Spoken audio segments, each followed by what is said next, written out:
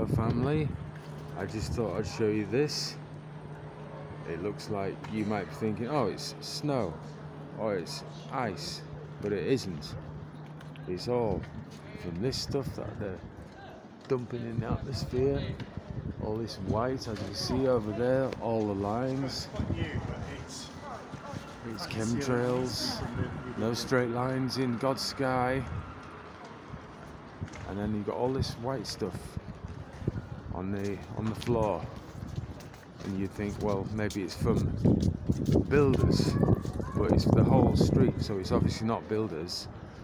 This will be the the metals, which is in all of this um, aluminium, strontium, barium, titanium, and lithium, and it's crazy.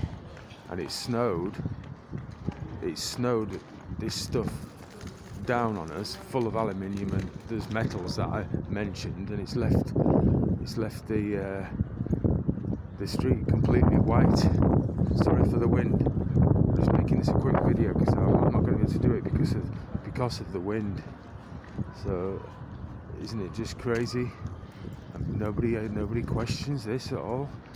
Maybe some people are questioning it, but what it is is it's frozen metals.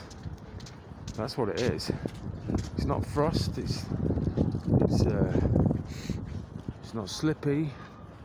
It's uh, like I say, frozen metals.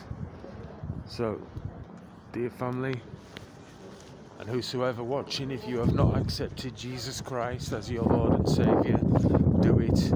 Do it quick because the tribulation is about to start.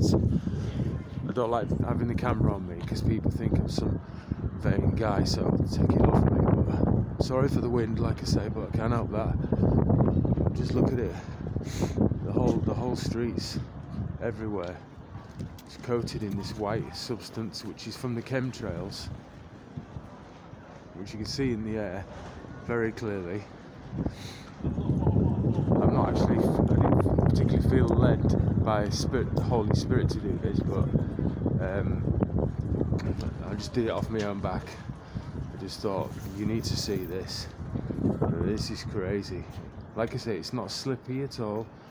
It, it looks like it looks like snow, but obviously it isn't. So there you go. If you haven't accepted Jesus Christ as your Lord and Savior, please don't hesitate any longer because He is the way, He is the truth, and He is the life. And He said, Jesus Christ said, I am the door. By me, by me, if any man shall enter in, he shall be saved. So go to Jesus Christ. He was crucified on the cross for all our sins, past, present, and future. He was buried, and God raised him from the dead on the third day. When you believe that in your heart, and you call upon him, you will be saved. When you believe it truly, that if thou shalt confess with your mouth the Lord Jesus Christ, and shalt believe in your heart that God has raised him from the dead, you will be saved. For with the heart man believes unto righteousness, unto justification, and with the mouth confession is made unto salvation. So, what crazy times are we living in, guys? Absolutely crazy. If I just step in this doorway, it won't be as windy.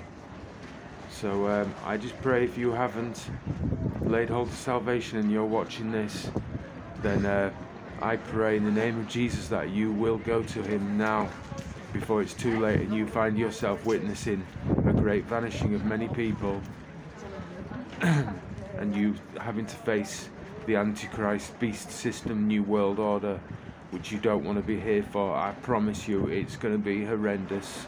So, saying that, lay hold of your salvation by believing on Jesus' death, burial, and resurrection for all our sins on that cross and call upon Him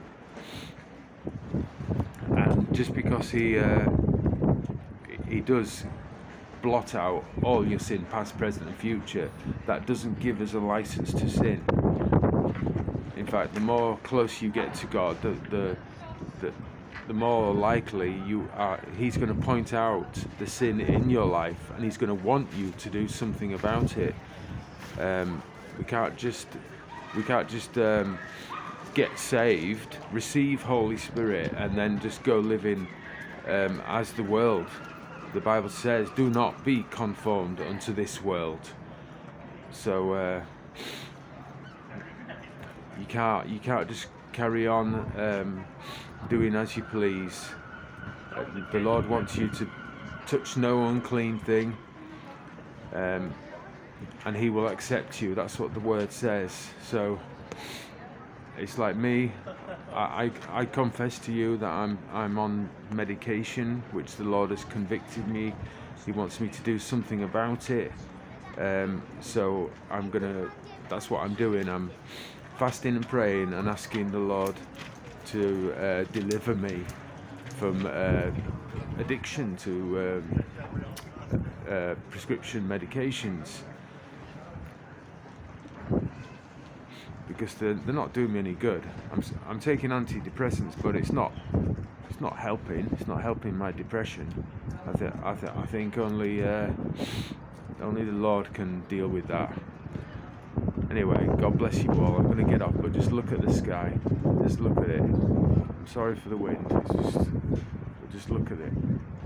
Gas, and that's exactly what is on the floor. It's dropped down onto us, and it's created all this white in in the street. It's just incredible that people don't see this. Nobody questions it. I mean, just look at it. It looks like snow, and it's not frozen aluminium, strontium, barium, titanium, lithium, and pff, God only knows what else. Anyway, I love you all. God bless you. Be of good cheer. Wait on the Lord. Uh, be of good courage, and He will strengthen your heart.